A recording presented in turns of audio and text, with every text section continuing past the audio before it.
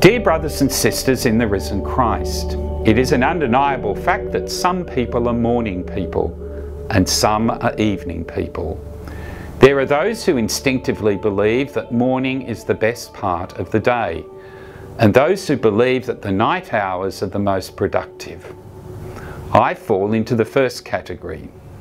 One of the things about early morning people is that we invariably get to witness the dawn.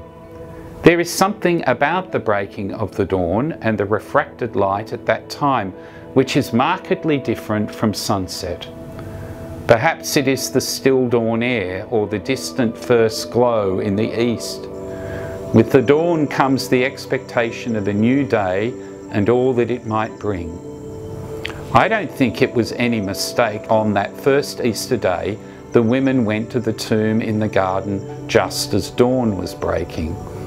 As the light became brighter, they could see that the tomb in which the body of Jesus had been placed was now empty, as the stone had been rolled away.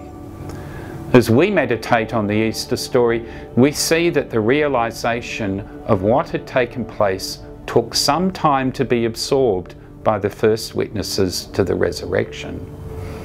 Resurrection faith came slowly, but as the day unfolded, the truth became clearer, and then the resurrected Christ began to appear to his disciples. For us in these times, there are many challenges to accepting the truth of Christ risen.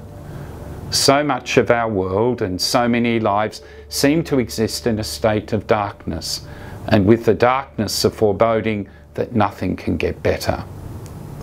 For those who embrace faith in Jesus Christ, his saving death and resurrection, there is always the hope before us of lives being transformed. Even when we face personal and societal challenges, uncertainty gives way to doubt and often despair. The risen Christ says to each of us, Peace, and that gift of peace which St. Paul reminds us passes all understanding, becomes the anchor which steadies our lives and provides the security we need to continue in our journey towards ultimate fulfillment. May you experience that gift of Easter peace that the risen Christ bestows on those who claim faith in Him.